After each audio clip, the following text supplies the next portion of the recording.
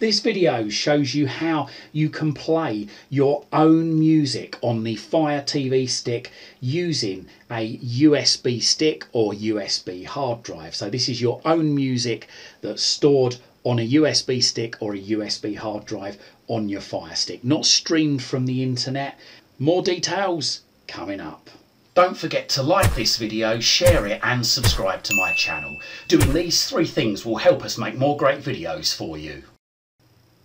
So first of all, you need to have a couple of things. First of all, you need to have an OTG cable or a USB socket on your Fire TV device. Now, most Fire Sticks or all Fire Sticks at the current time do not have a built-in USB socket you have to buy an OTG cable. Have a look in the description of this video. If you haven't got one, you can buy one direct from Amazon. There's one down there that I recommend in the description. Secondly, it's not essential, but you should really have a device with Fire OS 7 or above. Now it is possible with Fire OS 6 but you do need to do some a lot of extra work to get the USB device recognized but this guide is going to be following users of Fire OS 7 to basically just try and keep it simple. So if you want to check to see what version of Fire OS you've got then go across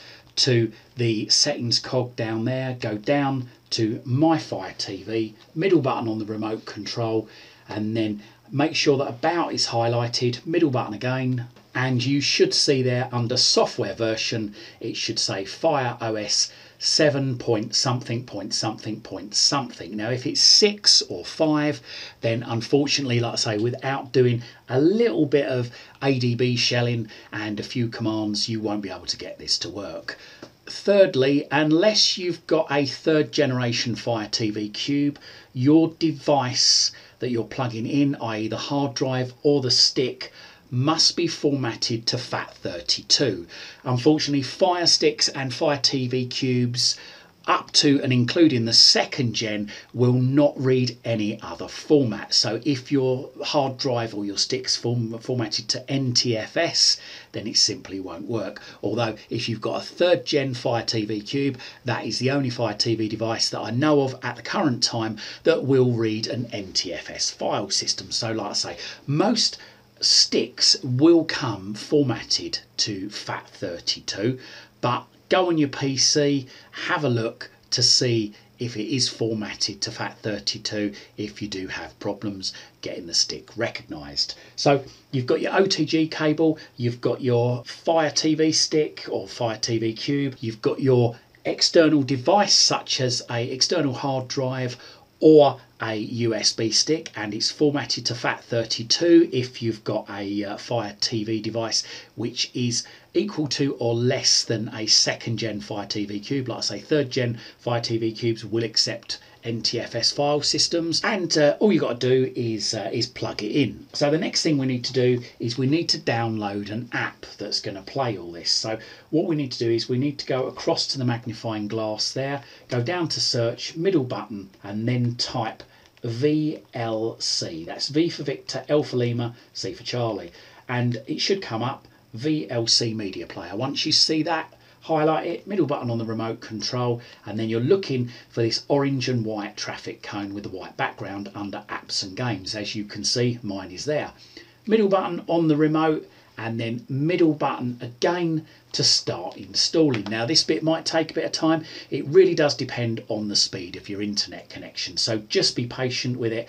Let it download. Once it's downloaded, it will then start to install. And once it's installed, you will actually see downloading or installing go to open or done. And there you go mine's now gone to open. Now that means that it's ready. So we just need to open that. So middle button on the remote control. So we've got the welcome message here. So just keep pressing the right part of the ring on the remote control until we get here. Now this is very, very important. We must allow VLC to access photos, media and files on your device. If you don't, then this simply won't work. So if you've accidentally selected deny, then you're going to have to go back uninstall it and then reinstall it again. So make sure that allows highlighted, middle button, and then press the right button again and then once you get to this screen here, middle button. Okay, so if you see this message coming up saying new external storage detected, do you want VLC to add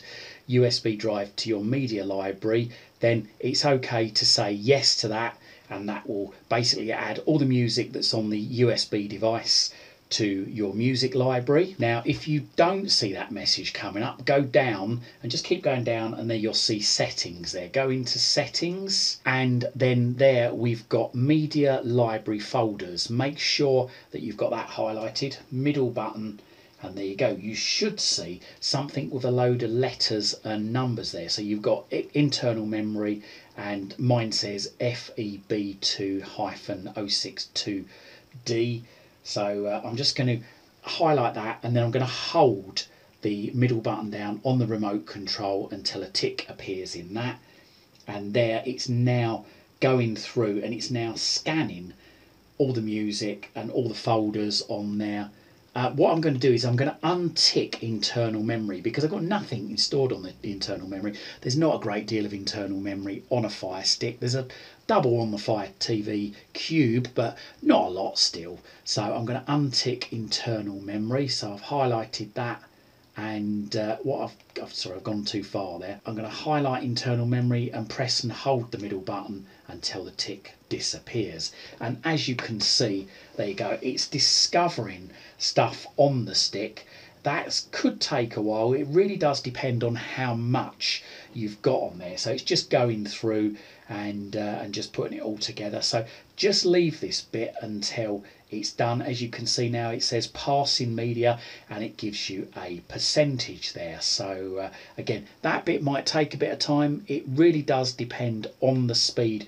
of your fire stick and your USB device so just be patient with it it could take a little while it obviously also depends on how much music you've got as well the more music you've got the longer that is going to take before it finds it. So uh, I'm going to leave that going. I'm just going to pause this video and we'll come back to it when it's nearly done. Right, so there we go. The bar's gone from the bottom. It's finished. So I'm just going to press the back button on the remote, back button again. If we go down to audio there, and then we can go into artists, albums, genres, tracks. So let's go into albums there. And there we go. That gives us all the albums that we've got. And obviously, I'm going to play one, but I can't actually let you hear it because I don't have the uh, the copyright. So there you go. There's all the tracks on that particular album, so I can play the tracks one by one, or I can go up to the play button up the top there and uh, and start playing.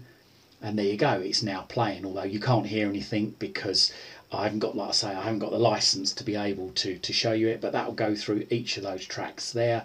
You've got a pause button there. You've got a, uh, like a randomized button there. Previous track, next track there. A, uh, a repeat there. If we just go back, we've obviously got other options there. So if we press on that, there you go. We've added these to a playlist and uh, you've appended, you can append tracks to the playlist. You can go up to there and you can create your own playlist there if you want to. So uh, yeah there's there's loads of great things you can you can do on this. Just have a play with it have a look see uh, see see what you can find on there. Up the top there you go displaying list sort by. And uh, you've got that there which uh, I, I, guess that allows you to, to search yeah you can search but uh, if it can't find your USB device, then there's a couple of things you can try. Okay, now you can go into the left hand menu there and you can go down to browsing there and go across to USB drive. Now, if you haven't got a USB drive there, it's probably because either your OTG cable isn't working, your Fire TV device isn't compatible with USB devices. It could be that you've got, let's say, a Fire OS 5 or Fire OS 6 operating system, which without putting in quite a few commands you won't be able to do this like say you do need FireOS 7 it could be that your drive is not formatted to FAT32 so have a look on my YouTube channel. I've got quite a few videos on there which tell you how to format a device to FAT32. But like I say, if you've got USB drive there, you can go into that there and there you go. That just shows all of the albums that I've got and all the folders on my USB drive. Not only music but any, anything else. And again you can go into it that way and uh, you can start playing the, uh, the, uh, the, the songs from there. So there you go. A great way of playing your own music on your Fire TV stick or your Fire TV Cube directly from a USB device. I hope this guide helps and if it did why not stick around. Have a look through my YouTube channel I've got thousands of other videos covering all sorts of subjects. Hopefully you'll find something to educate you, entertain you, amuse you and maybe even save you some money. I hope you liked this video and if you did, hit that like button. If you think your friends, your family or your work colleagues might like it, then don't forget to share this on your social media timelines. And if you haven't done so already, make sure you find out about all my latest videos the second they're released. Hit that subscribe button, then hit the bell, then hit all. You can also find me on Twitter at CWTek and also find my website at cwtek.co.uk. Liking, sharing and subscribing really helps support this channel. Thank you very much.